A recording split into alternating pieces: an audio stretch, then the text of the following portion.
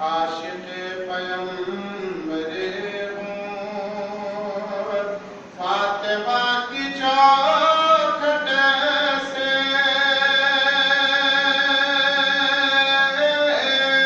مجھ کو بھیک ملتی ہے پنج تن کے صدر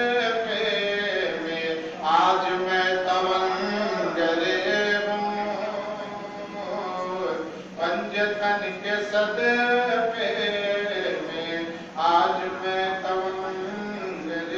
ہوں۔ ہر ایک اپنے مرتبے میں انتخاب ہے، زہرا ہے بے مثال۔ تو لاجواب شاید تاریخ میں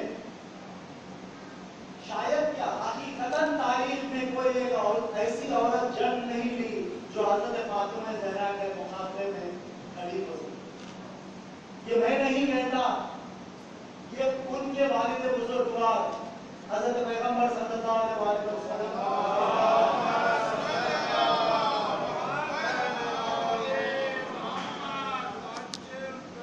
کہ حضرت زہرا سیدت النساء العالمین جنت کی عورتوں کے سردار انہیں جب کتاب کرتے تو وہ کہتے ہیں ام میں ابیہا اپنے والد کی ماں۔ حضرت رسول کے قول سے کئی حدیث ہے، حضرت فاطمہ کی شان کی ان میں سے ایک یہ ہے کہ روز محشر ایک آواز آئے گی۔ سب اپنے نگاہیں نیچے ڈالیے کہ حضرت فاطمہ زہرا تشریف لا رہی ایسا مرتبہ نہ کسی کو ملا ہے اور نہ ملے گا۔ حدیث قصہ میں جو سارے فرقے اسلام اس بات کو مانتے ہیں کہ حدیث قصہ کی حقیقت ہے یہاں پر جب اللہ تعالیٰ، جب جبرائیل سوال کرتے ہیں اللہ سے کہ یہ قصہ کے نیچے کون ہے، تو اللہ تعالیٰ فرماتے ہیں کہ فاطمہ ہے اور فاطمہ کے والد۔ فاطمہ ہے، فاطمہ کے شوہر ہے۔ فاطمہ ہے اور فاطمہ کے فرزند ہے۔ یہاں پہ نبوت کو حضرت فاطمہ سے تعارف کیا جا رہا ہے جب ولایت کو بتلایا جا رہا ہے، اس کا نسبت حضرت فاطمہ زہرا سے بتلایا جا رہا ہے۔ امامت کو جب تعارف کیا جا رہا ہے تو حضرت فاطمہ زہرا سے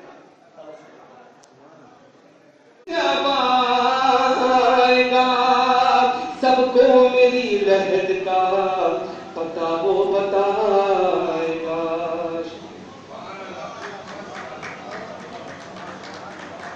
مجھے جناب کے فنی اور اب میں ایک دو شعرا ہے ان کو بعد میں اپنی لائف کو تقاریب کے بعد میں جب اسلام مولانا سید ظفر حسین رضوی صاحب سے خواہش کروں گا کیونکہ مقرر زیادہ ہے، صرف دس دس منٹ کے اندر ہی سبجیکٹ کو سمیٹتے ہوئے خطاب کریں گے۔ تو زندگی کم ہے، ذکر فاطمہ زیادہ ہے۔ کیونکہ بقول شاعر کے حدیث کے ساتھ بس یہی فاطمہ فاطمہ فاطمہ۔ جدھر سے رخ کیا جائے، کائنات اگر دیکھنا چاہتی ہے، تو دیکھے جہاں کہیں معصومین جمع ہوں گے، وہاں مرکز فاطمہ بنے گی۔ جہاں کہیں معصومین فاطمہ ہوگی۔ چاہے وہ حدیث قصہ ہو چاہے وہ مباہلہ ہو یہ خود بتا رہا اور اسی سے روز مادر قرار دیا گیا ہے۔ انسان اگر سال بھر اپنی ماں سے قریب نہیں ہوتا، کم از کم ایک دن اپنی ماں کو یاد کرے، بس تصدق شہزادی کونین فاطمہ الزہرا سلام اللہ علیہ وآخر یاد کیا جائے گا جب تک ہم زندہ ہے اور آج ساری کائنات کی نگاہیں پلٹی ہوئی ہے چھٹی ہے ایران کی طرف لوگ پریشان ہیں۔ کوئی اگر ایک کوئی آ کر شخص ایران سے کوئی اگر ایک بیان دیتا ہے، اس پر تحقیق ہوتی ہے، اس پر آ کر ریسرچ ہوتی ہے، کہاں پر کہا گیا؟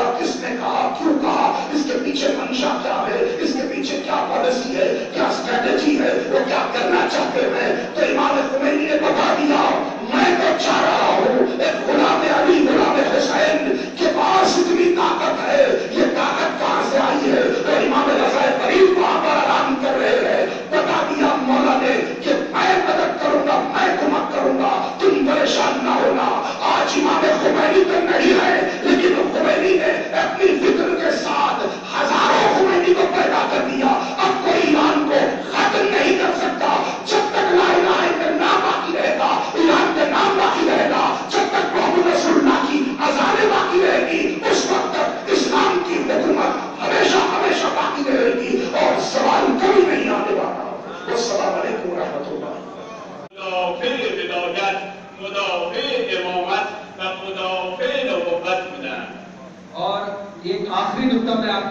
عرض کرنا چاہتا ہوں کہ جتنی بیویاں سیدت النساء اگر عالمین تھی حضرت فاطمہ بنت محمد، حضرت مریم بنت عمران اور حضرت آسیہ حضرت خدیجہ بنت خویلد، یہ تمام کے تمام مدافع ولایت رہی ہیں، مدافع امامت رہی ہیں اور مدافع نبوت رہی ہیں اپنے زمانے میں۔ گرچه گفتم کلام آخر، ولی این جمله را هم حیفم میاد عرض نکنم، عزیزان بزرگان احتمام بورزند به خطبه فلکیه و انشاءالله نسبت به آن نسبت به ترجمه آن و آشنایی با مضامین آن خطبه بسیار فسیح بلیغ سیاسی اعتقادی فقهی اجتماعی به اون خطبه انشاءالله به مسائل آن آگاه و واقف بشن. السلام علیکم.